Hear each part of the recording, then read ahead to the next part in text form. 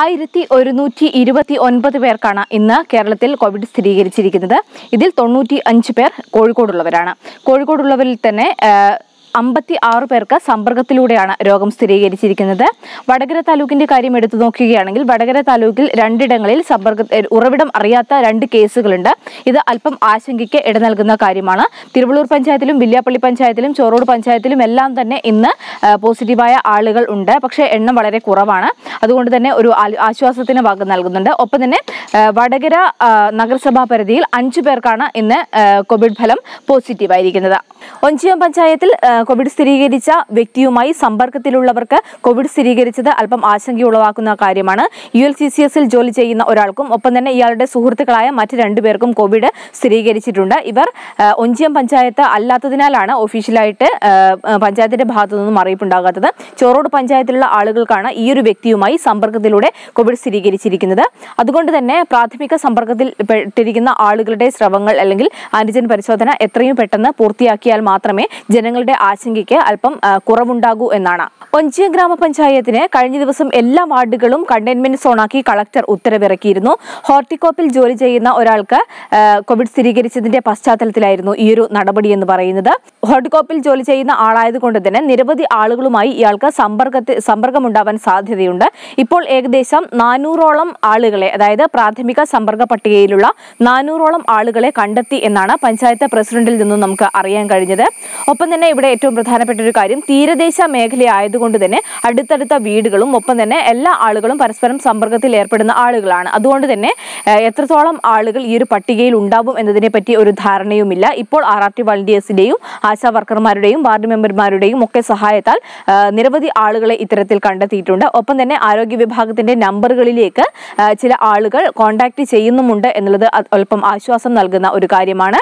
മൊത്തം സമ്പർക്ക പട്ടികയിലുള്ള ആളുകളെ കണ്ടെത്തിയാൽ മാത്രമേ ഇവിടെ ആന്റിജൻ പരിശോധന നടത്താൻ കഴിയുകയുള്ളൂ. എന്നിരുന്നാലും അടുത്ത ദിവസങ്ങളിൽ തന്നെ ആന്റിജൻ പരിശോധന നടത്താനാണ് പഞ്ചായത്തിന്റെ തീരുമാനം.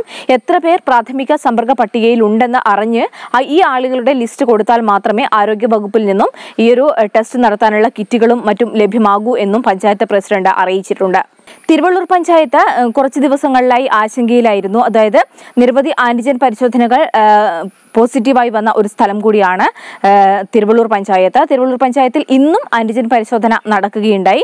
തൊണ്ണൂറ്റി ഒൻപത് പേർക്ക് പരിശോധന നടത്തി. ഇതിൽ രണ്ടു പേരുടെ ഫലം പോസിറ്റീവാണ്. ഇനി ഈ രണ്ടു പേരുടെ പ്രാഥമിക സമ്പർക്കത്തിൽപ്പെട്ട ആളുകളുടെ പരിശോധന നടത്തുമെന്നാണ് പഞ്ചായത്ത് പ്രസിഡന്റ് ഇപ്പോൾ അറിയിച്ചിരിക്കുന്നത്. ആർ ആർ ടി വാർഡ് മെമ്പർമാരുടെയും ഒപ്പം തന്നെ ആശാ വർക്കർമാരുടെയും ഒക്കെ സ- സഹായത്താലാണ് ഈ പ്രാഥമിക കോണ്ടാക്ട്സിലുള്ള ആളുകളെ കണ്ടെത്തുന്നത്. അതോടൊപ്പം തന്നെ ഇന്നലെ തിരുവള്ളൂരിൽ മൂന്ന് പേർക്ക് കോവിഡ് സ്ഥിരീകരിച്ചതായി സാമൂഹിക മാധ്യമങ്ങളിൽ ചില വാർത്തകൾ പ്രചരിച്ചിരുന്നു.